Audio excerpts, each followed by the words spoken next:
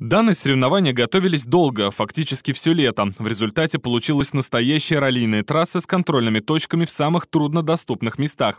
Поддержал начинание организаторов лично руководитель регионального отделения ДСАФ Алексей Тюркин.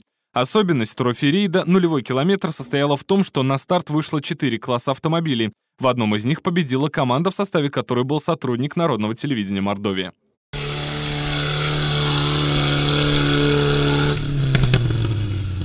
Их команда уверенно прошла все контрольные точки. Ближайший преследователь уступил им 400 баллов. Особую сложность представляли метки, расположенные в грязи и на болоте. Не все команды с этим справились, но все получили положительные эмоции. Никита Борискин, Максим Тузин, Данила Тюрин. Народные новости.